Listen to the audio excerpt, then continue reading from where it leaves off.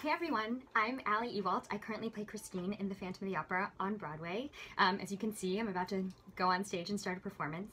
So here at Phantom, we are going to be doing a very special performance with TDF's Autism Theater Initiative, which means that uh, individuals with autism and their families will be able to come enjoy a very special, sensory-friendly uh, performance of our show in a welcoming environment for an affordable price.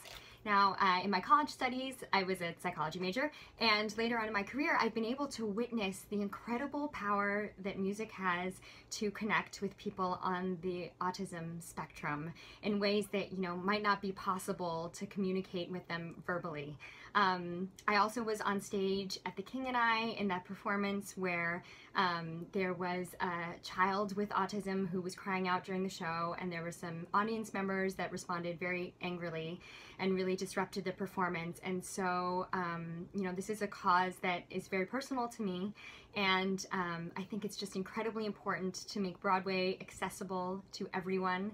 I'm so grateful to TDF for making shows like this possible.